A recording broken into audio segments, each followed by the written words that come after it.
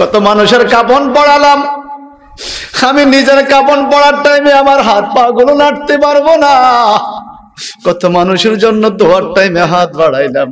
কিন্তু আমার বিদেয়ী দোয়ার দিনে আমার হাত তোলার শক্তিটুকু সেদিন থাকবে না। কত মানুষকে কত ভালো নসিহত দিলাম। আমার বিদায়ের টাইমে আমি একটু বিদায় নেওয়ার জবান থাকবে না। ওই কঠিন মুসিবতের সময়ে ওই কঠিন বিপদের সময়ে একমাত্র সাহায্যের মালিক হলো আল্লাহ। কে? এই দাওয়াতটা তোমরা পৃথিবীর মানুষকে দিবা কারণ আমরা আল্লাহর কাছে যেতে হবে। ওয়াইলাইহে রাজিউন। আল্লাহর কাছে ফিরে যেতে হবে। এই কথাটা আল্লাহ এখানে বলেছেন সুম্মা ইলা রাব্বিকুম মারজিউকুম। তোমরা তোমাদের রবের কাছে ফিরে যেতে হবে। মাটির থেকে সৃষ্টি, মাটির থেকে তোমাকে আবার মাটির ভিতরে নেওয়া হবে। মাটির থেকে তারা তা নুখরা কিয়ামতের ময়দানে আবার হাজির করা হবে। যাররা যাররা জীবনের জিন্দিগির হিসাব তোমাকে মিলাতে হবে এই দাওয়াতগুলো যখন হযরত আবু জার গিফারে দেওয়া শুরু করলেন, কাফেররা চতুর্দিক থেকে পাথর মারা শুরু করল।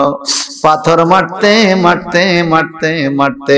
ইসলামের সপ্তম মুসলমান হুজুর হজরত আবু জার গিফার রাদিয়াল্লাহু তাআলা রক্তাক্ত হয়ে মাটিতে পড়ে গেলেন, বেহুশ হয়ে গেলেন।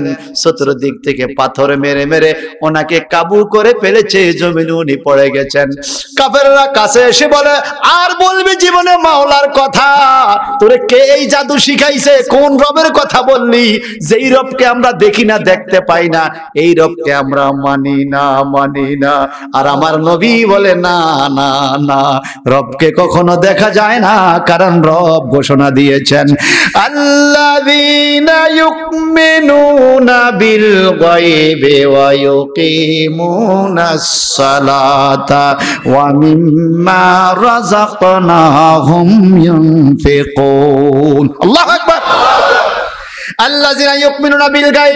দেখে মানে আর কোরআন শরীফ দেখা যায় না রে, না দেখে মানতে হবে। তোমরা এই কথা বলার পরে আক্রমণ আক্রমণ থেকে আক্রমণ, আঘাতে আঘাতে ক্ষত বিক্ষত দেহ রক্তাক্ত হয়ে গেল। একবার উপর করে পাড়াইয়া পাথর মারে, আবার শীত করে শোয়াইয়া পাথর মারে। জীবনে আর মোহাম্মদের কথা বলবিনি জীবনে আর আল্লাহর কথা বলবিনি। আপুজার গিফারি কই রে আমার দেশবাসীরা রে? আমার জীবন যদি তোমরা কেড়ে নাও তারপর যেই মোহাম্মদের প্রেম অন্তরে জায়গা দিয়েছি, এই মোহাম্মদের নাম কোনোদিন ভুলা যাবে না। সুবহানাল্লাহ বলেন। যে আল্লাহর একত্ববাদ আমি আমার অন্তর লালন করেছি, যে আল্লাহর তৌহিদিবাদ আমি আমার অন্তর লালন করেছি, এটা আমি অন্তর থেকে ছাড়তে পারব না। কারণটা হলো, আল্লাহ বলেছেন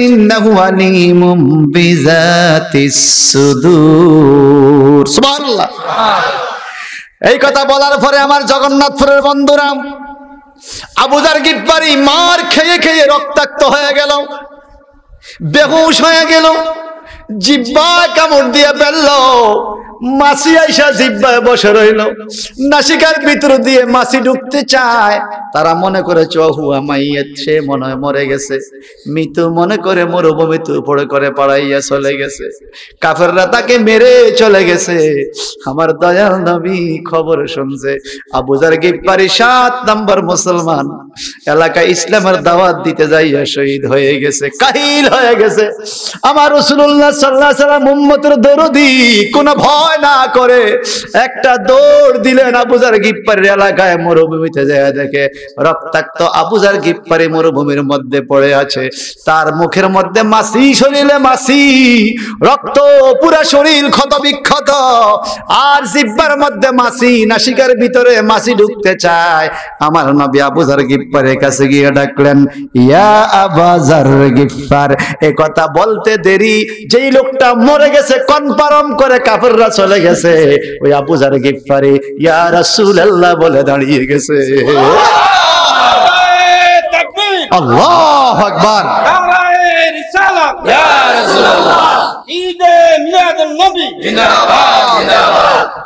মাওলানা মুফতি আবুল হাশিম শাহ মিয়াজি সাহেব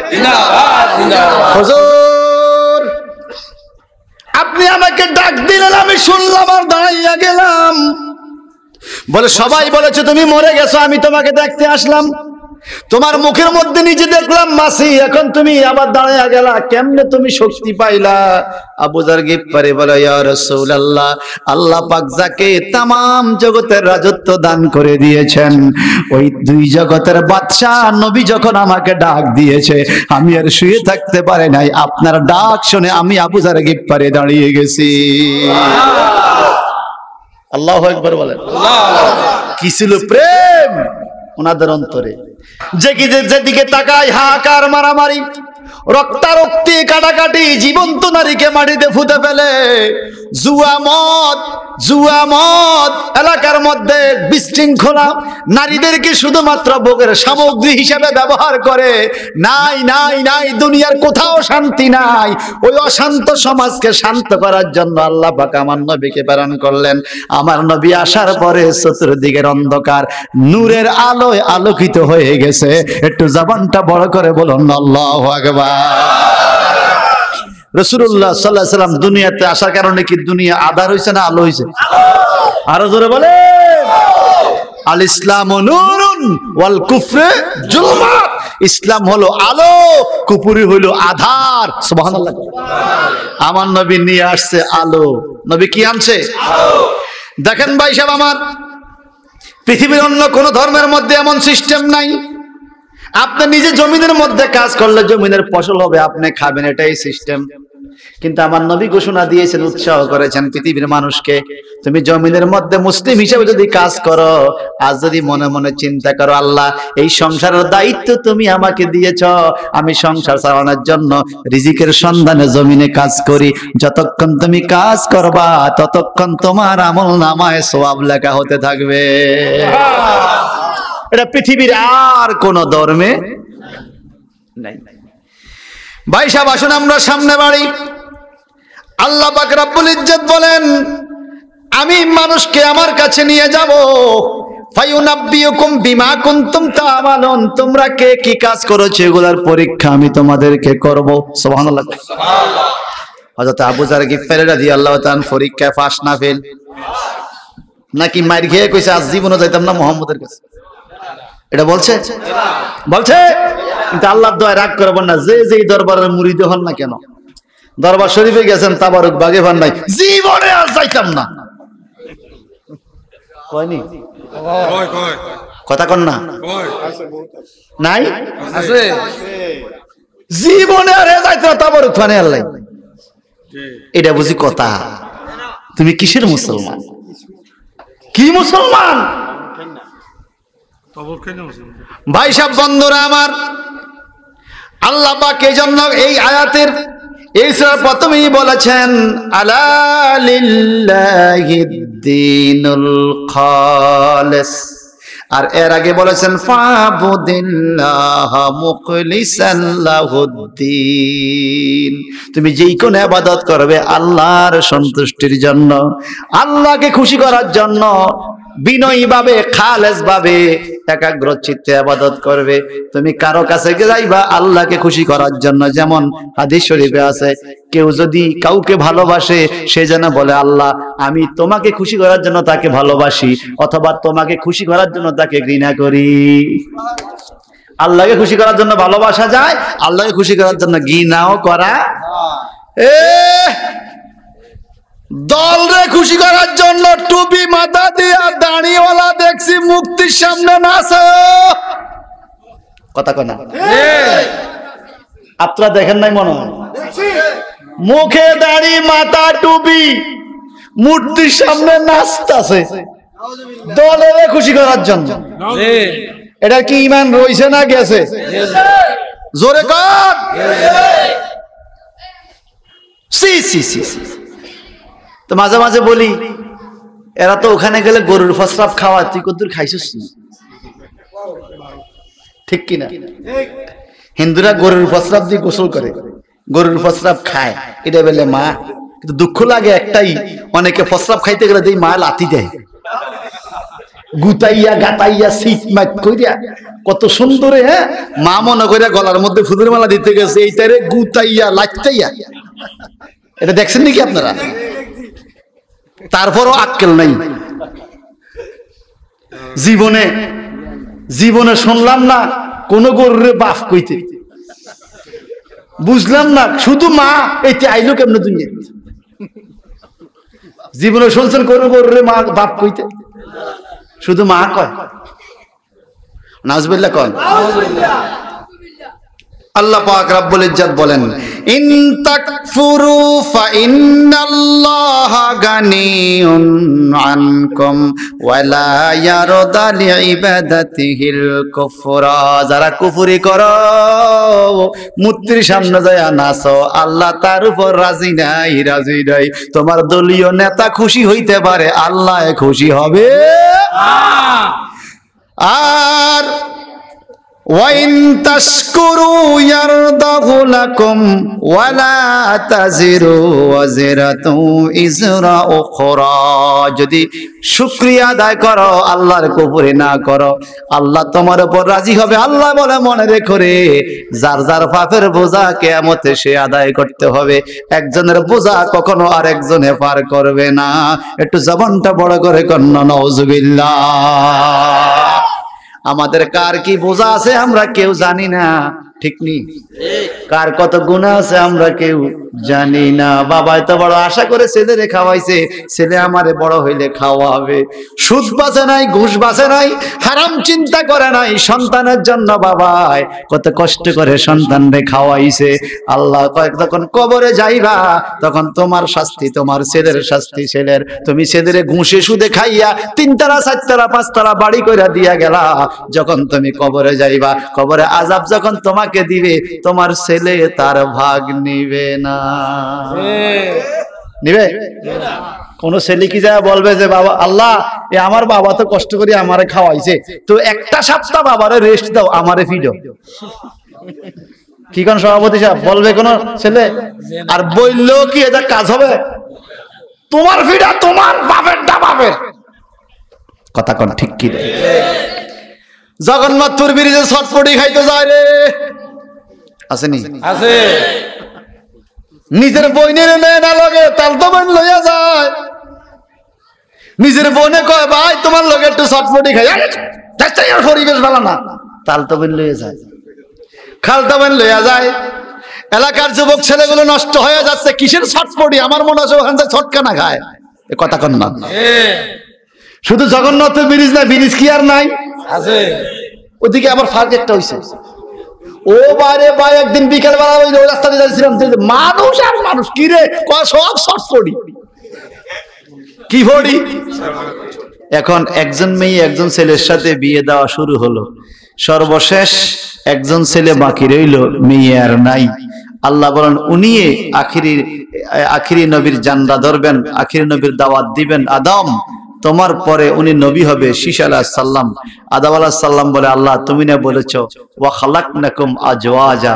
সবকিছু জোড়ায় সৃষ্টি করেছ। আমার সন্তান শীষ, মেয়ে আর নাই, কার সাথে বিয়ে দিব? সে কি জোড়া বাঁধে থাকবে? আল্লাহ বলে, না, তার সাথেও জোড়া মিলাবো। তুমি অপেক্ষা করো, জিব্রাইল আমিনকে বললেন বেহেশত থেকে একজন হুর নিয়ে আসার জন্য, জান্নাতি একজন নারী, জান্নাতি হুর এনে আদম আলাহ সাল্লামের সন্তান, শীষ আলাহ সাল্লামের সাথে বিয়ে পড়াইয়া জোড়া মিলিয়ে দিল। হুর কিন্তু মানুষ জাতি না হুর হলো ফেরেস্তা জাতি। সুবহান আল্লাহ বলেন এত সুন্দর এত চমৎকার। আমার নবীজি বলেন যদি দুনিয়ার দিকে একটু উকি মারে জান্নাতি হুরেরা লাদাত মা বাইনা হুমা সুবহানাল্লাহ বলেন না? লাদাত মানে অবশ্যই আলোকিত হয়ে যাবে। মা বাইনা হুমা দুনিয়ার মাঝখানে যত জায়গা আছে, যত গোপন জায়গা আছে, যেখানে সূর্যের আলো যায় না, চন্দ্রের আলো যায় না, যেমন ইঁদুরের গর্তের ভিতরে চন্দ্র সূর্যের আলো যায় না, কিন্তু জান্নাতি যেই নারী আপনাকে দেওয়া হবে বেহেস্তে যেই হুর দেওয়া হবে, ওনারা উকি দিলে ওই ইঁদুরের গর্তের ভিতরে পর্যন্ত আলোকিত হয়ে যাবে। এত সৌন্দর্য দান করছে কে? আওয়াজ দিয়ে এখন কে? শিশাল সাল্লামের ইন্তেকালের পরে আবার এই হুর জান্নাতে চলে গেছে। যা হোক, তো আমার আল্লাহ বলেন আমি তোমাদের জন্য চতুষ্পদ প্রাণী পৃথিবীতে পাঠাইলাম। আট জোড়া, সুবহানাল্লাহ কোন। এখানে পশুর কথা আসছে চার জোড়া, পাখির কথা আসছে চার জোড়া। চার জোড়া পশুর মধ্যে বিশেষ করে বাঘ, গরু, ঘোড়া, ওট সোহানাল্লাহ বলে এগুলো একটা দিয়ে কখনো বংশ বিস্তার হয় না। দুইটা লাগে। আর পাখির কথা আসছে ময়ূর, কবুতর, বুলবুলি, আবাবিল। জোরে কইতেন না এগুলো কখনো জোড়া ছাড়া বংশ বিস্তার করে না। পৃথিবীতে কোনো কিছুই জোড়া ছাড়া বংশ বিস্তার করে না, সবকিছুর জোড়া আছে, এমনকি খাজুর পর্যন্ত। যারা সৌদি আরবে ছিলেন, এক গাছের খাজুরের ফুলের সাথে আরেক গাছের খাজুরের ফুলের মিলন না হইলে খাজুর হয় না। নেফাত কয় এটা কোথা থেকে আসছে জানেন? আল্লাহর হাবিব মুহাম্মদ রসুল্লাহ আলাইহি মসজিদে নববীর সামনে বসে আছেন। সাহাবাই কেরাম কিছু অভিযোগ নিয়ে আসলো ইয়া রাসূলুল্লাহ আমাদের কোন কোন বাগানে খাজুর হয় কোন কোন বাগানে হয় না। মেহরবানি করে বলেন খাজুর ফলানের বুদ্ধি আমরা কি করে পাইতে পারি? খাজুর ভালো হবে কীভাবে কি হলে? মনে রাখবেন আমার নবী হলেন সর্ব বিষয়ের শিক্ষক। কি কৃষি কাজ কি ইঞ্জিনিয়ারিং কি শিক্ষকতা? শরীয়ত তরিকত হাকিকত মারফত ইতিহাস বিদ্যা ভূগোল বিদ্যা বিজ্ঞানী বিদ্যা সকল বিদ্যার শিক্ষক হলেন আমাদের নবী। সব বিদ্যার শিক্ষক যার জন্য নবী বলেছেন বুইস্ত মুআল্লিমা I came to this world as like as greatest, greatest teacher for all person. সর্বযুগের সর্ব মানুষের জন্য আমি নবী একজন বড় টিচার জোরে বলবেন না সুবহানাল্লাহ। নবীজি বড় শিক্ষক। যদিও ইংরেজি রচনা পড়াইতে যায় দেখলাম প্যারাগ্রাফ লেখছে মোহাম্মদ সাল্লাহ সাল্লাম। সেখানে লেখছে, Mohammad was uneducated person in this world. কীভাবে মাত দিছে, খেয়াল করছেন? Mohammad was uneducated person in this world. যে মোহাম্মদ ছিল এই পৃথিবীতে একজন অশিক্ষিত লোক। হ্যাঁ, আমার নবী কি আনএডুকেটেড ছাত্ররা পড়তে তখন আমি বললাম এই লাইন কাটো। আমি একটা লাইন বোর্ডে লিখি তোমরা সেটা লেখো। কি লিখবা? মোহাম্মদ সাল্লাহ সাল্লাম was the greatest teacher in this world for all season আমাদের নবী ছিলেন সর্বযুগের জন্য একজন শ্রেষ্ঠ শিক্ষক।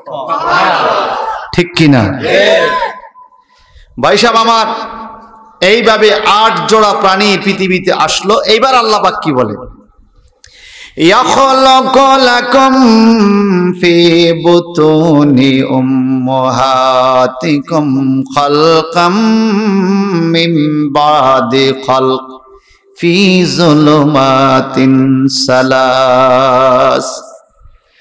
বন্দারারে বড় বড় কথা বলো। তুমি কোথায় ছিলা? কি অবস্থা ছিলা? একটু পিছনের দিকটা খেয়াল করো। ফি বুতুনি আমি তোমাদের মায়ের পেট থেকে তোমাদেরকে বের করেছি, সৃষ্টি করেছি। কীভাবে? খালকাম মিন বাদি খালক। সৃষ্টির পরে সৃষ্টি। বলে, সৃষ্টির পরে সৃষ্টি, এটা আবার কি? ফি জুলুমাতিন সালাস। তিনটা অন্ধকারের ভিতরে তুমি ছিলা। সুবহানাল্লাহ কয়টা অন্ধকারে? এই তিনটা অন্ধকার কি? ইমাম জালাউদ্দিন মহল্লি রহমতুল্লাহ বলেন, এক নম্বর অন্ধকার হলো মায়ের পেট। মায়ের পেটের ভিতরে কি আলো আছে নাকি? তোমাকে সেই অন্ধকারে আমি লালন পালন করেছি। দুই নম্বর অন্ধকার হলো মায়ের পেটের মধ্যে নির্দিষ্ট একটা জায়গায় তোমাকে রাখা হয়, আবার নির্দিষ্ট একটা জায়গায় খাবার দাবার রাখা হয়। তোমাকে আমি নির্দিষ্ট জায়গায় অন্ধকারে রেখেছি, এটা দুই নাম্বার অন্ধকার। তিন নাম্বার অন্ধকার হলো মায়ের জয়া জরায়ুর ভিতরে। তোমাকে আমি সুন্দর করে লালন পালন করেছি, এই হলো তিন নাম্বার অন্ধকার। বন্দারে! পৃথিবীতে আইসা আলো পাইয়া আলো দেখে তোমরা বড় বড় কথা বলো। এই আলোর মালিককে ওই আলোর মালিককে আল্লাহ বলেন, জুলুমাতিন সালাস, আমি তোমাকে একের পরে এক সৃষ্টি করেছি তিনটা অন্ধকারের ভিতরে। একটু জবানটা বড় করে কন্ন আল্লাহু আকবার। মা কেমন রত্ন, মা কেমন জিনিস? পৃথিবীর কোন পুরুষের দ্বারা যেটা সম্ভব নয়। একজন নারীর দ্বারা আল্লাহ পাক এই জিনিসটাকে সম্ভব করে দিয়েছেন। অন্ধকারের ভিতরে আমরা কত দিকে গড়াগড়ি করেছি কত দিকে হাত পাও নেড়েছি, মা কত কষ্ট পেয়েছে, মা কত আঘাত পেয়েছে।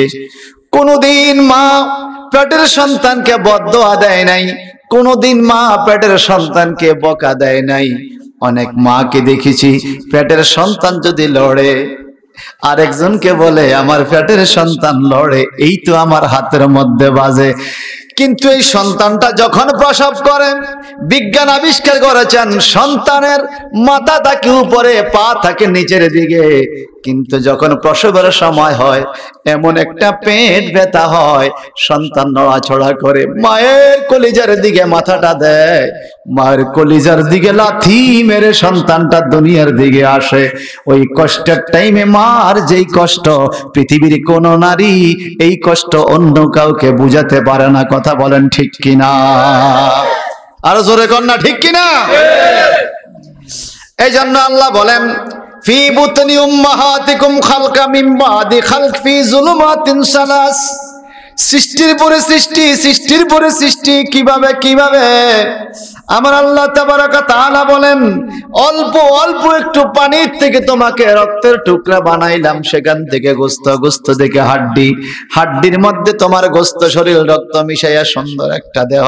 হাত, পাও, চোখ, এগুলো সব ঠিকঠাক করে আমি তোমাকে পৃথিবীতে প্রেরণ করেছি। বন্দারে, তোমার প্রতিটা অঙ্গ প্রত্যঙ্গ তোমার জন্য এক একটা দয়া, এক একটা রহমত। পৃথিবীতে কত মানুষ দেখেছি হাত নাই, কত মানুষ দেখেছি চোখ নাই। পৃথিবীতে কত মানুষ দেখেছি পা নাই, কত মানুষ দেখেছি ব্রেন ভালো নাই। কত মানুষ দেখেছি চোখ আছে আলো নাই, কত মানুষ দেখছি মুখ আছে জবান নাই। দেখছেন নি? জোরে কন। কিন্তু আমাদেরকে পরিপাটি করেন, সুন্দর করে সৃষ্টি করলেন কে? আওয়াজ দিয়ে এখন কে?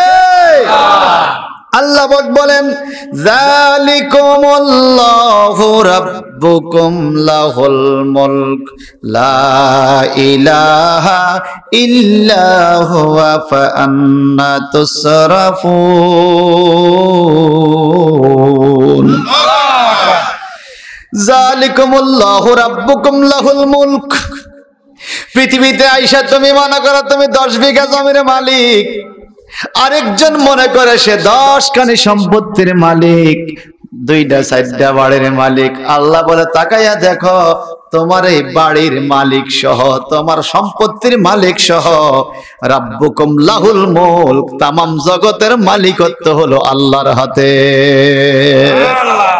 কার হাতে? আওয়াজ দিয়া কম। আল্লাহ চাইলে সূর্য উঠবে, আল্লাহ চাইলে চন্দ্র উঠবে আল্লাহ না চাইলে সূর্য উঠানো সম্ভব নয়।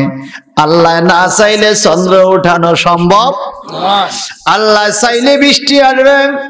আল্লাহ না চাইলে বৃষ্টি আসবে না। আমার আল্লাহ বলেন, তোমরা সে আল্লাহকে মানো। লা ইলাহা ইল্লা হুয়া। যে আল্লাহ ছাড়া আর কোনো মাবুদ নাই। একটু জবানটা বড় করে কোন মারহাবা। একমাত্র মালিক সবাই কোন? আমার কোনো বয় আসেনি একমাত্র মালিক আল্লাহ। এই আল্লাহর নামের তসবি যখন শিক্ষা দেওয়া হলো আমার নবী দু জাহান ইসলামের প্রচার শুরু করে দিলেন। ইসলামের প্রচার শুরু করে দিলেন। নবী সহ মাত্র ছয় জন ইসলামের প্রাথমিক যুগে আল্লাহ ছাড়া কোন মাবুদ নাই। রাব্বুকুম লাহুল মুলক। তোমাদের প্রতিপালক আল্লাহর জন্য সমস্ত রাজত্ব আর ক্ষমতা। আমরা পৃথিবীতে ক্ষমতা থাকে। আমার আল্লাহ কয়, আমি যারে একবার ক্ষমতা দেই, এই ক্ষমতা লাটতে পারি, সরাইয়া দিতে পারি। এই মুল্ক শব্দের তফসিরে আমরা কোরআন বিল কোরআন শুনব। এটা ধরে সরে পড়ে আল্লাহ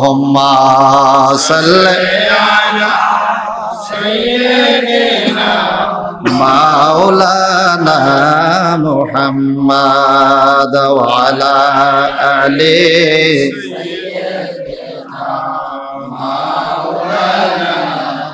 আর জোরে জোরে বলুন আল্লাহ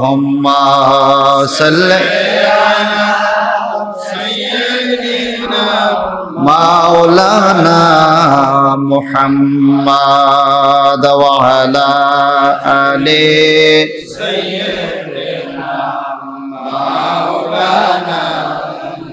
আল্লাহ তুমি দয়া করো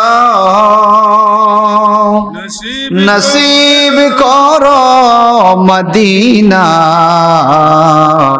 নবীজি কে না দেখাইয়া কবর দেশে নিও না আল্লাহ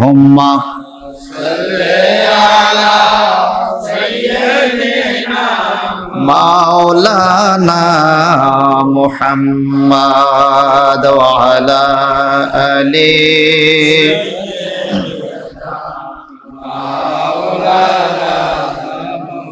তো রব্বুকুম লাহুল মুলক।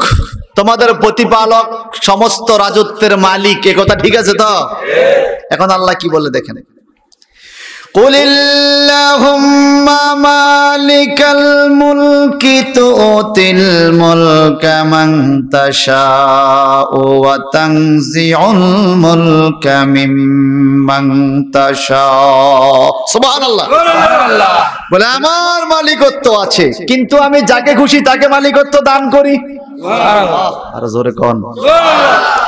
আবার যাকে খুশি তার কাছ থেকে আমি মালিকত্ব কেড়ে নেই। ক্ষমতা দেও আল্লাহ আল্লাহ। আবার কি বলে আল্লাহ বলেন?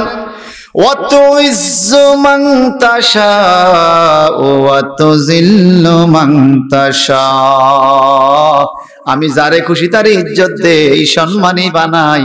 আবার যারে খুশি তারে অপমান করি। এ ক্ষমতা কার? আল্লাহ। বিয়াদিকাল ইন্নাকা আলা কুল্লি শাইইন কাদির। আল্লাহু আকবার। সমস্ত খায়ের কল্যাণ আল্লাহর হাতে। কার হাতে? আল্লাহর হাতে। আল্লাহ বলেন ইন্নাকা আলা কুল্লি শাইইন কাদির।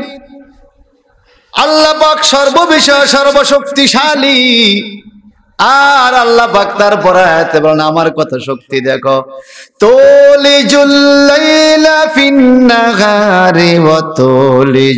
নাহারা আমি রাতকে দিনের ভিতরে দেই, দিনকে রাতের ভিতরে দেই। রাত্রে বাড়াইতে পারি, আবার কমাইতে পারি। দিনকে বাড়াইতে পারি, আবার কমাইতে পারি। বড় করে কোন, মারহাবা। শুধু তাই না আল্লাহ বলেন ওয়াতুখরিজুল হাইয়া মিনাল মাইয়িতি ওয়াতুখরিজুল মাইয়িতা মিনাল হাই। আমি মরা জিনিস থেকে জীবিত জিনিস বাইর করি জীবিত জিনিস থেকে মরা জিনিস বাইর করি।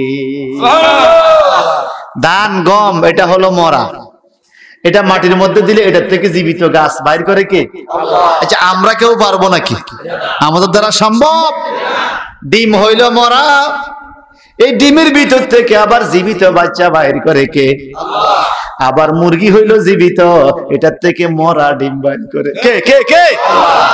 এই জন্য আল্লাহ বলেন وتخرج الحي من الميت وتخرج الميت من الحي وترزق من تشاء بغير حساب مرحبا কোন এত ক্ষমতা আমার এরপরও তোমরা কারে ডাকো আমি আল্লাহকে বাদ দিয়ে لا تتخذ المؤمنون الكافرين أولياء من دون المؤمنين এরে মমিনেরা মমিন বাদ দিয়ে অন্য কাউকে তোমরা বন্ধু বানাইও না বন্ধু যদি বানাইতে হয় মমিন রে বানায়ো সুবহান কিন্তু বড় পরিতাপের বিষয় বড় দুঃখের বিষয় আমাদের সমাজের কিছু যুবক এমন কিছু বন্ধু বানায়, যার সাথে বন্ধুত্বের কারণে ভালো ছেলেটা ধীরে ধীরে খারাপ হয়ে যায়। কথা কন। ছেলে ছিল ভালো, এমন বন্ধুর সাথে বন্ধুত্ব করেছে, সে কিছুদিন পরে গাঞ্জা কর মদ করিয়া বাকর হয়ে গেছে। এই গ্রামে আসেনি সভাপতি সাথে হ্যাঁ? আছে না? সব জায়গায় বেলে আছে। আচ্ছা আপনারা বলেন তো বাবা। কাফিরিন। মুমিনরা কখনো কাফেরকে গ্রহণ করবে না আউলিয়া বন্ধু হিসাবে মিন্দুনিল মুকমিনিন আরেকজন মুমিন ছাড়া। মুমিনের বন্ধু কি মুমিন হবে না কাফের হবে? আওয়াজ দিয়ে বলেন না। মমিন হবে। এখন আমার আল্লাহ তাবারাকা তাআলা বলেন আমি ক্ষমতা দেই ক্ষমতা আবার নেই। শুধুমাত্র আমার আপনার নবীকে আল্লাহ পাক যত ক্ষমতা দিয়েছেন এই ক্ষমতাগুলো দিয়েছেন স্থায়ীভাবে। অন্যান্য নবীদেরকে ক্ষমতা কাউকে স্থায়ী, কাউকে অস্থায়ী। আমার নবীকে ক্ষমতা দিয়েছেন স্থায়ীভাবে, যেমন আমি বলি। আমার নবী বলেন, মুসা নবীর আমলে ঈশা নবীর আমলে, অন্যান্য নবীদের আমলে। নির্দিষ্ট জায়গা ছাড়া নামাজ পড়লে নামাজ হতো না। নির্দিষ্ট জায়গায় নামাজ পড়তে হতো, যেখানে মসজিদ সেখানে। কিন্তু আমার নবী আইসা বলেন, আমি আমার উম্মতের জন্য ক্ষমতা নিয়ে আসছি। আমি মোহাম্মদের কদম লাগার কারণে সারাটা দুনিয়া উম্মতের জন্য মসজিদ হইয়া গেছে। জমিনের লাইলে নামাজ পড়লে নামাজ হয়। হয় কি না? নদীতে নৌকাতে লঞ্চে জাহাজে হেলিকপ্টারে ট্রেনে গাছের ঢালেও যদি কেউ নামাজের সময় পাইলে নামাজ পড়ে সেখানেও নামাজ আদায় হয়ে যাবে। আমার আল্লাহ বলেন হুজুর আপনাকে আমি ক্ষমতা দিয়েছি। কুলিল্লা কুম্মা মালিকাল মুলক তুতিল মুলকা মাংতাসা আমি যারে খুশি তারে ক্ষমতা দেই। ওয়াতানজিল মুলকা মিম্মাং তাসা যার কাছ থেকে তার থেকে ক্ষমতা নিয়ে যাই। অনেক ক্ষমতা আমি নিয়ে গেছি হাবিব।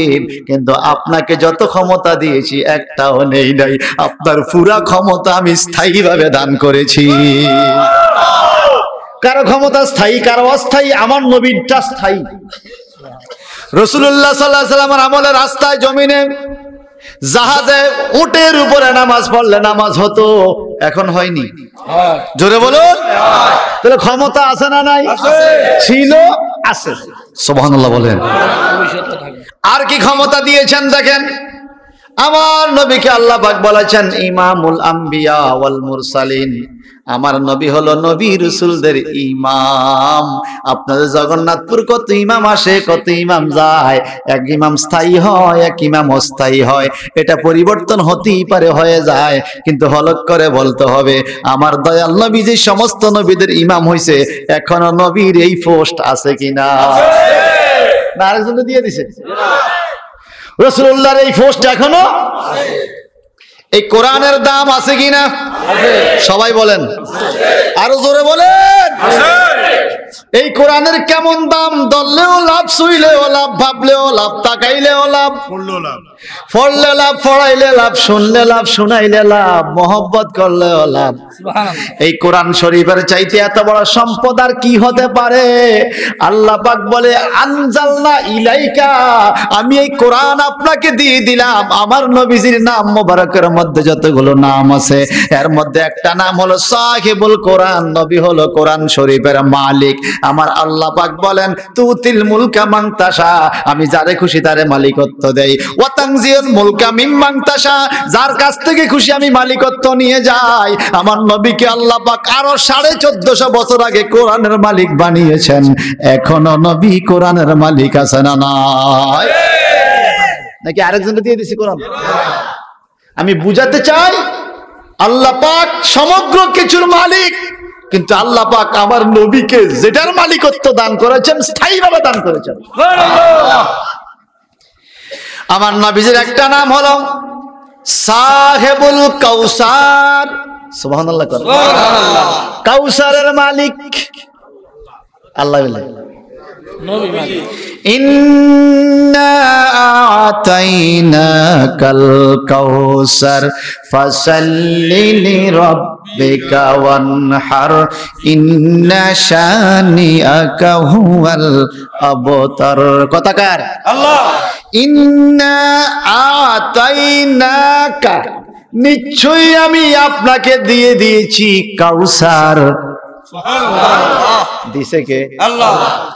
আর কি নিয়ে গেছে? নিয়ে গেছে? এখনও নবী কাউসারের মালিক। রসুল্লাহ সাল্লাম রোজা বাকে লেখা আছে সাহেবুল কাউসার আমার নবী কাউসারের মালিক। আর কেয়ামতের ময়দানেও থাকবেন স্থায়ীভাবে।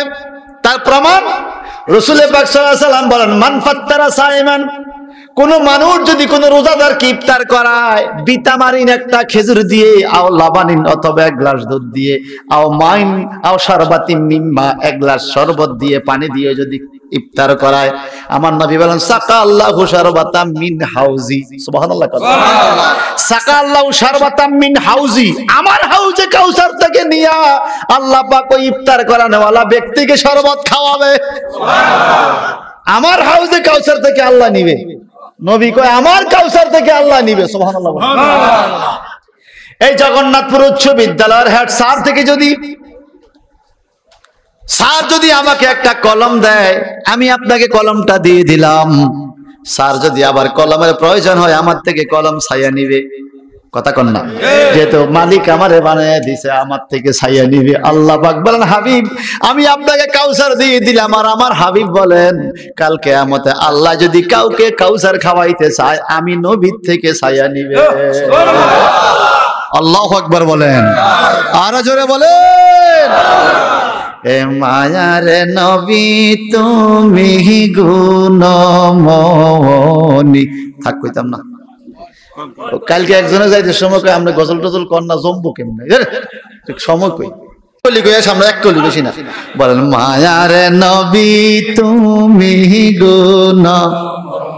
আমরা আল্লাহ বলেন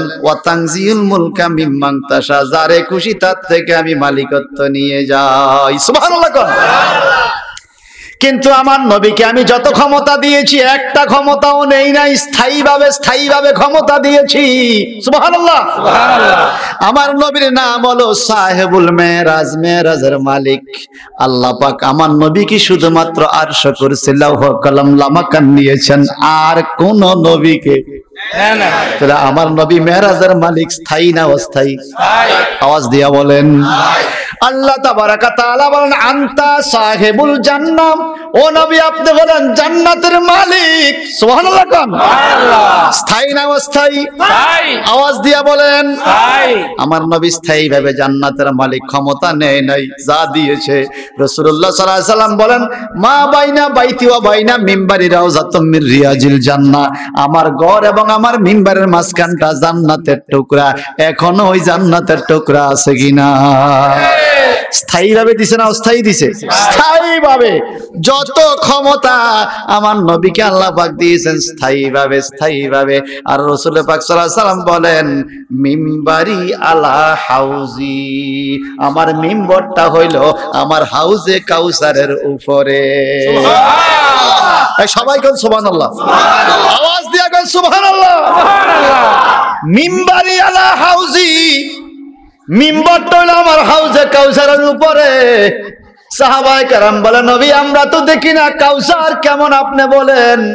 আমার নবীজি বলেন, কাউসারটা হলো বরফের সাইতে ঠান্ডা, মধুর সাইতে মিষ্টি, দুধের সাইতে ঠাড়া দুধের সাইতে সাদা, আর পানির সাইতে তরল খাইতে কেমন? নবীজি বলেন, যদি একটা ফোঁটা মুখের মধ্যে পড়ে, কিয়ামতের ময়দানে তোমার জান্নাতে যাওয়ার আগ পর্যন্ত আর পিপাসা লাগবে না। মালিক আপনি? হ্যাঁ আমি। ডিস্ট্রিবিউশন কে করব কে? আমি নবী করব?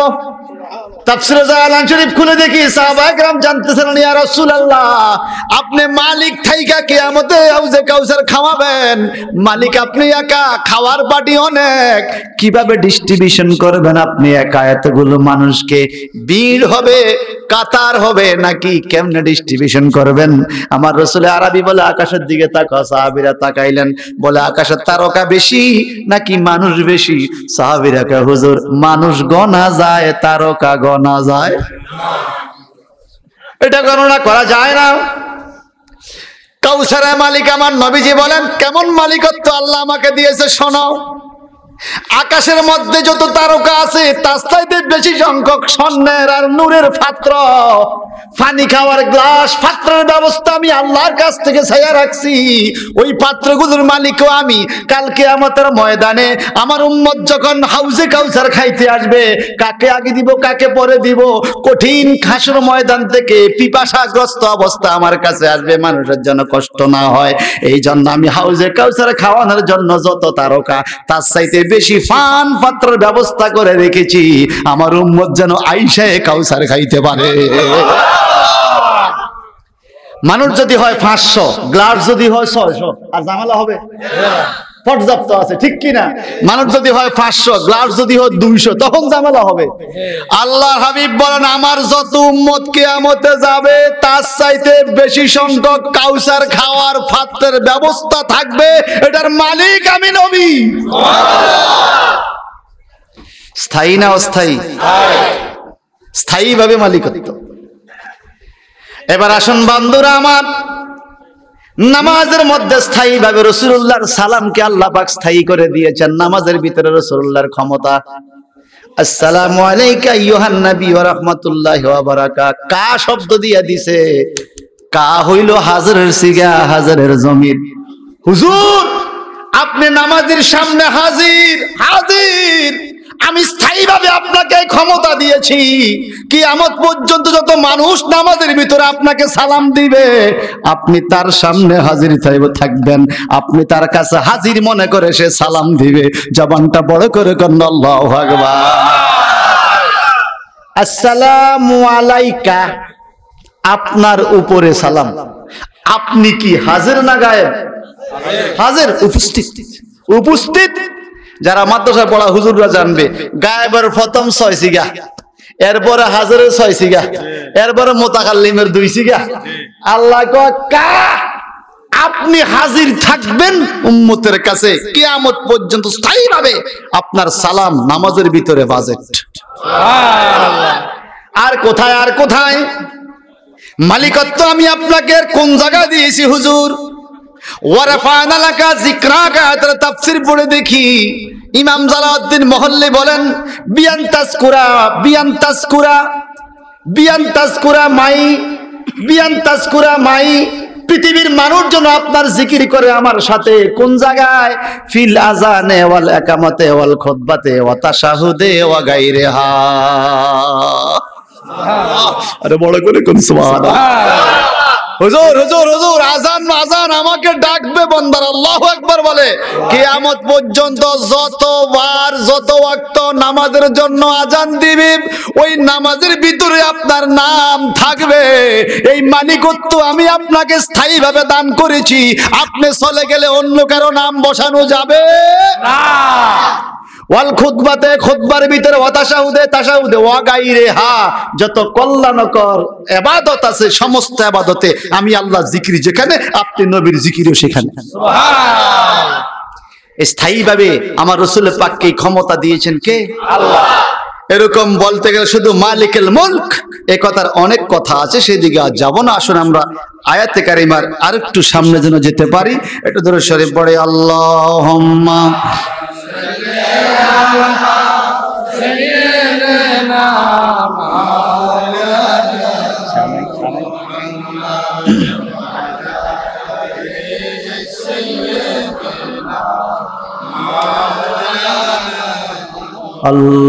اللهم صل على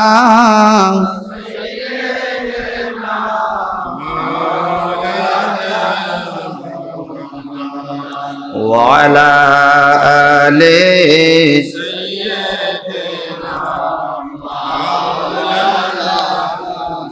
ও গো আল্লাহ নূর নবীকে দেখতে আমার মন চায় নবীজিকে না দেখাইয়া আজাল দিও না রে আঙ্গিনা আল্লাহ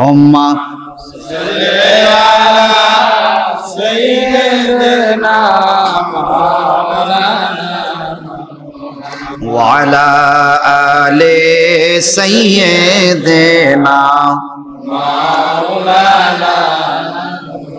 তাহলে আল্লাহ বলেছেন রাব্বুকুম লাহুল মুলক তোমাদের প্রতিপালকের জন্য মালিকত্ব প্রতিপালক যারে খুশি হইয়া যেই ক্ষমতা দান করে সে সেই ক্ষমতার মালিক যেমন আজরা সাল্লামকে স্থায়ীভাবে আল্লাহ মালিকত্ব দান করেছেন, তুমি সমস্ত নফসের রুহু কবজ করবা। সুবহানাল্লাহ বললেন না? জিব্রাইল আমিনকে আল্লাহ পাক ক্ষমতা দিয়েছেন, তুমি নবীদের কাছে যাইবা। মিকাল আলাহিসাল্লামকে আল্লাহ পাক ক্ষমতা দিয়েছেন, তুমি বৃষ্টির ব্যবস্থা, রিজিকের ব্যবস্থা মানুষের করবা। ইসলাম আলাহিসাল্লামকে ক্ষমতা দিয়েছেন, তুমি কেয়ামতে বাসি ফু দিয়ে কেয়ামত ঘটাইয়া দিবা। যাকে আল্লাহ পাক যেই ক্ষমতা দিয়েছে, এটা মানতে হবে না? আমার আল্লাহ পাক বলেন লা ইলাহা ইল্লা হুয়া একমাত্র মালিক। আল্লাহ ছাড়া আর কোন এলাহা নাই। এই দাওয়াতটা আমার নবী দিলেন মুসলমান ছয়জন। কয়জন? একটু পরে দৌড়াই আসছে একজন। উনি মুসলমান হয়ে গেল সাত নাম্বার। নাম হলো হজরতে আবুজার গিফারি রাদি আল্লাহ তালান সোবাহান আল্লাহ বলে ইসলামের কয় নম্বর মুসলমান? সাত নাম্বার। মুসলমান হজরত হুজুর আবুজার গিফারি থেকে হাদিসে বর্ণিত আছে। উনি রাবি ছিলেন। আবুজার গিফারি রাদি আল্লাহ তালান সাত নাম্বার মুসলমান আমার রসুল্লাহর কাছে বসে আছে। আমার নবীজি বললেন, যাও, তোমরা মানুষকে ইসলামের দাওয়াত দিতে থাকো। লা ইলাহা ইল্লা হুয়া, আল্লাহকে ছাড়া আর কোনো ইলাহা নাই। একমাত্র ইলাহা কে? আল্লাহ। আমার আল্লাহ পাক বলেন, ইন তাকফুরু ফা ইন্নাল্লাহা গানিয়ুন আনকুম ওয়া লা ইয়ারদা লিইবাদিহিল কুফরা ওয়া ইন তাশকুরু ইয়ারদাহু লাকুম ওয়া লা তাজিরু ওয়াজিরাত ইজরা উখরা। জবানটা বড় করে কন্যা মারহাবা। পৃথিবীর মানুষকে যা বুঝাইবা যারা কুফুরি করে তাদের উপরে মালিক খুশি নাই। আর যারা কুফুরি করে না তাদের উপরে মালিক খুশি। আর একটা কথা বুঝাইবা কি ওই কথাটা হলো ওয়ালা তাজিরু ওয়াজিরাত ইজরা উখরা যার যার বোঝা কিয়ামতের ময়দানে সে পার করবে। কারও বোঝার দায় কেউ কেয়ামতে হবে না। ঠিক কি না তোমার গুনার বোঝা তোমার। তোমার ছেলের বোঝা তোমার ছেলের। যার যার বোঝা তার তার, কেউ কারও বোঝা কেয়ামতে পার করে দিবে না। এই কথাগুলো তোমরা মানুষকে যাইয়া বলো।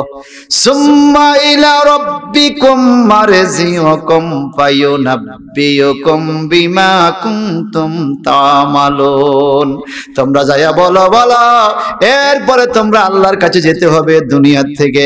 আল্লাহ পাক তোমাদেরকে পরীক্ষা করে, যাচাই বাছাই করে। বিমা কুনতুম তামালুন, তোমরা কে কি আমল করো? গোপনে যদি করো আর ওপনে যদি করো, এটার খবর আল্লাহ জানে, এই খবরটা যাইয়া বলো মক্কার কাফেররা কয় গোপনে করলে আবার আল্লাহ দেখবি কেমনে? আল্লাহ পাক সাথে সাথে আয়াতে কারিমা দিয়ে দিলেন ইন্নাহু আলিমুম বিদাতিস সুদূর।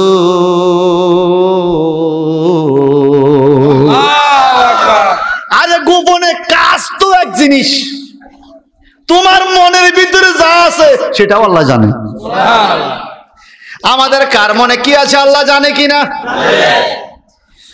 হুজুর হজরতে আবুজার গিফারি রাদি আল্লাহ রসুল্লাহর কাছে সপ্তম মুসলমান হইয়া ইসলামের দাওয়াত দেওয়ার জন্য রওনা হলেন। আমার নবীজি বললেন, আস। মানুষকে ডাকবে বিল হেকমা হেকমতে। আস্তে আস্তে আস্তে আস্তে প্রথম ইসলামের দাওয়াত দিবে। দৈরে জোরে বলার সময় এখনও আমাদের হয় নাই। গোপনে গোপনে বলো, সব কাফের, আমরা মাত্র ছয় সাতজন গোপনে গোপনে বলো আবুজার গিফারি বলে, ইয়া রাসূলুল্লাহ, আল্লাহ হক, আপনি নবী হক। আল্লাহ হক, আপনি নবী হক। হকের কথা গোপন কেন? আমি ওপেন করেই হকের দাওয়াত দিব। উনি চলে গেলেন এলাকায়। এলাকা যায় বলতেছে এই আয়াতগুলো।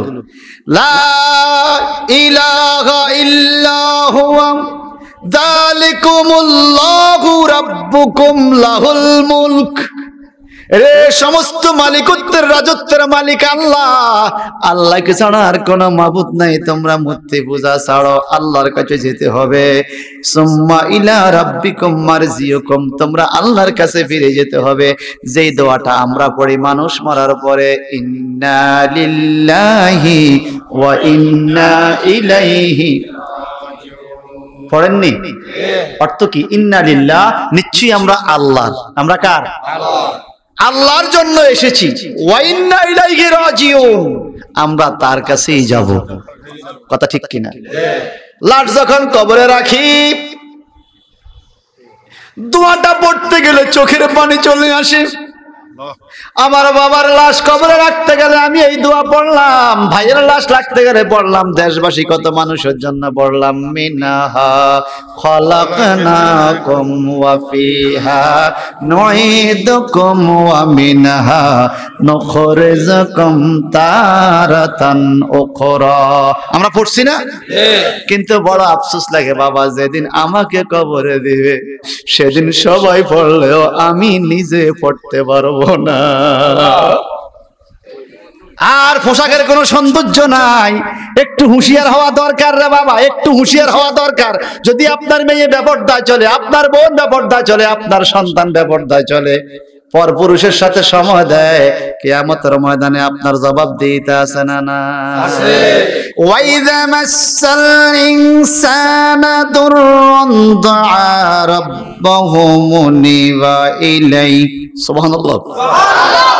আমার আল্লাহ পাক বলেন মানুষকে যখন কষ্ট পায় অভাবে অনটনে যখন মানুষকে লাগ পায় মানুষ যখন বিপদের মধ্যে পড়ে যায় হ্যাঁ বিপদের মধ্যে পড়ে গেলে মুনিবান ইলাই মনি মনে করে দা আর আব্বাহু সে মালিককে ডাকে। সুবহানাল্লাহ কোন বিপদ যখন হয় লা ইলাহা ইল্লা আনতা সুবহানাকা ইন্নী কুনতু মিনাজ জালিমিন ঠিক কি না? আর ইজা খাওয়ালাহু নেমাতাম মিনহু নাসিয়া মা কানা ইয়াদউ ইলাইহি মিন ক্বাব আল্লাহ পাক বলে, একটু আগে বিপদে পড়া যেই জন্য আল্লাহরে ডাকছে, যখন বিপদটা সরাইয়া দেই নাসিয়া আসে আমি আল্লাহরে বইলা যা কথা ঠিক কিনা? আওয়াজ দিয়ে এখন ঠিক কিনা? বলে, হুজুর, কেমনে? জমিনের মধ্যে দান বললেন, আল্লাহ আল্লাহ, দে দে দে, ফসলটা যেন ভালো হয়, ছেলে মেলে খাব, আল্লাহ, রিজিকের ব্যবস্থা করে দে। দোয়া করছেন, আল্লাহ পাক আপনাকে ফসল দিয়েছে, একশো মন, বিশ মন ধান উড়াইছেন ঘরের মধ্যে দান তুলছেন, ঠিকই, দান তুলছেন, ঠিকই। মসজিদের ইমাম সাহেব হুজুরের দানের ভাগ রয়ে গেছে। জকাতের দানের ভাগ রয়ে গেছে, মাদ্রাসার দানের ভাগ রইয়া গেছে সদকার দানটা দেন নাই। সদকার দানের জন্য কেউ আইলে আপনি তখন বলেন, গোলায় তুলে ফেলছি, এখন দেওয়া যাবে না। জোরে কোন। একশো মন আপনারা গোলায় তুলতে কইছে কি? আপনি একশো মনে আড়াই মন রাখবেন আল্লাহ রাস্তা দেওয়ার লাগে। কিনা? নিজেরটা নিজে গোলাতেন আল্লাহটা তুললেন কেন? আর জাকাত শব্দের আবিধানি করতে হলো, আজ জিয়াদা আজ সাদকা আজ জিয়াদা আজ সাদকা আত্মহারা তহারাত মানে পবিত্র, জাকাত না দিলে সম্পদ পবিত্র হয় না। জাকাত শব্দ অর্থ সদকা, দান করা, দান করতে হবে। আর জাকাত শব্দ অর্থ হলো জিয়াদা মানে বেড়ে যাওয়া। আল্লাহ বলে, জাকাত দিলে সম্পদ বাড়ে, তুই বুঝলি না। তুই মনে করছিস কমবে। এক কেজি দিয়া দেখ, অন্য দিক দিয়া তোরে আমি আল্লাহ কত বাড়াইয়া দে। কথা ঠিক কিনা?